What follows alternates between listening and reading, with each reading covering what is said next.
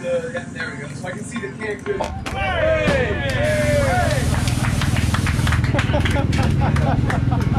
Good shot. The Dakar Rally Bivouac is a gearhead's dream, and this is paradise. But what's the difference between a factory team service area and a private team service area? Let's ask a couple of team bosses. Only up to here because otherwise I have to put proper shoes on there. I'm not allowed to wear those shoes. What is the difference between a factory team supporting a driver and a private team? I think it starts with the preparation. Uh, we put lots and lots of hours in there. All cars, let's say all the three buggies for us are 100% equal. That is very, very difficult in motorsports to do 100% equal cars. Specialists for every department, starting from fabrication, obviously electronics engineer, chassis engineer, engine engineer, engine mechanic, chassis mechanic. Uh, in our team, we have uh, four mechanics, one engineer per, per, car. All the mechanics need to know uh, all the operation of the car. Each car basically has one truck for itself. With all the spare parts in there, you can reuse the complete car minimum once or twice during the race. Can a private team still be competitive at Dakar? With a really good car in a private team, it will be possible to fight with the other driver, yes. You also develop a relationship with the mechanic? Of course, you know, the mechanics has to work in your car every day. This is a team effort here. Mini is a factory team and uh, it's really it's really nice for us to fight with them.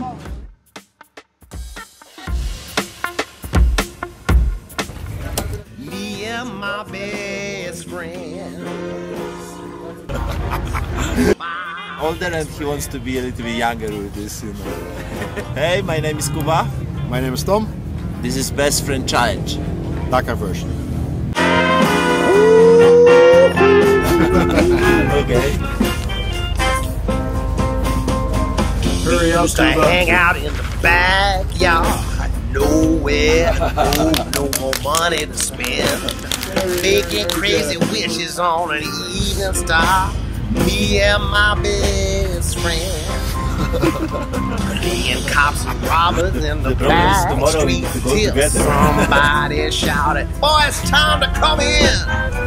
That's how it was when life was so sweet for me and my best friend. Listen, sneak in the movie show, sit in the second row,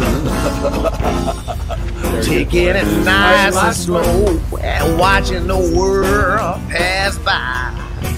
I can't remember being so small. You had to lift me up every time and again. Me and my best friend.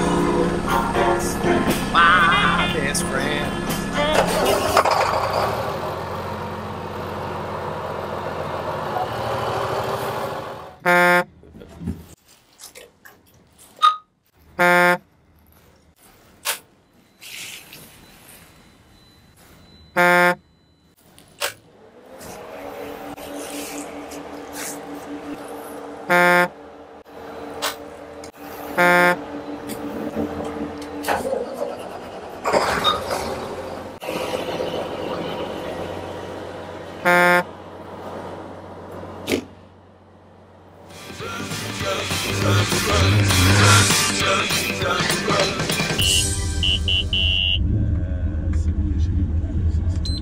sitting in here in the Toyota that could win the rally. What do you think, man? It will be not easy, but uh, I hope we'll do our job to, to make this uh, happen. Matthew, can you tell us a little bit about your job as the co-driver?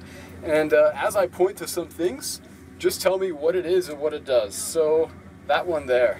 Okay, so all this is the one of the two GPS uh, we have given by the organization, and this gives us uh, our cap, so the cap you follow on the piste, and uh, some other information like the speed, like the total distance.